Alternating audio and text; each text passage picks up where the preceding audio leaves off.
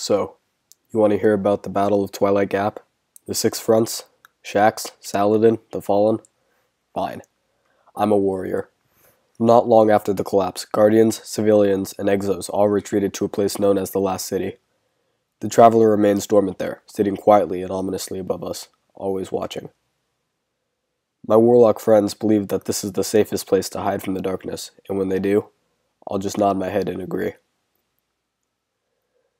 As the survivors of the collapse rebuilt a colony beneath the Traveler, us Titans built a wall to protect our safe haven. We had to. If the Fallen had attacked us while we were that weak, we would be the ones called the Fallen. Some brave colonists helped us by using Golden Age weapons to defend the wall, such as the Suros regime, a medium-ranged weapon used to eliminate Fallen getting too close. But one day, the Fallen punched a hole in our perimeter defenses. Some of the Guardians who patrolled the wall were found away from their posts, in fear of the oncoming attack. Few stayed on top of the wall, fighting the Fallen with all of their strength and valor. We later found that it had been the House of Devils who led the attack.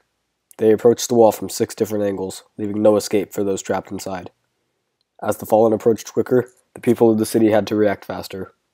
All Guardians able to fight immediately took defensive action. The four orders of the Titans immediately stepped foot in front of the wall. The four orders are similar to different houses of the Fallen, but there is a difference. We worked together. We all formed into one militia. Everybody knew the odds were in the House of Devil's favor, However, we discovered different ways of wielding the light of the traveler in order to defend the wall and our precious city that lay inside. An hour of constant gunfire carried on for what seemed like decades. I would defeat one captain only to see a servitor behind it. I remember locking eyes with the captain. He stared at me with a deep hatred. He was wounded, and ether leaked from his body like smoke from a fire. I couldn't remember what his battle cry was. It happened too quickly because a leader of my order among the Titans, Saint 14, took him out.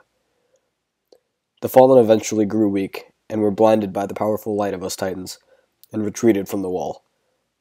Some Titans claimed to have seen Saint 14 chase after the devils as they retreated, blinding them with his powerful light.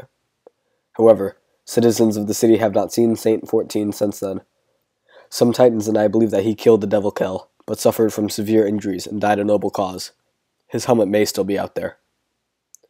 The four orders of the Titans that defended the city remain proud, if it weren't for us, the darkness would have consumed the city, leaving humanity lost in the dark. However, the Battle of Six Fronts was only the beginning of what was yet to come. Maybe I'll tell you about another great battle sometime soon. See you later, Guardian.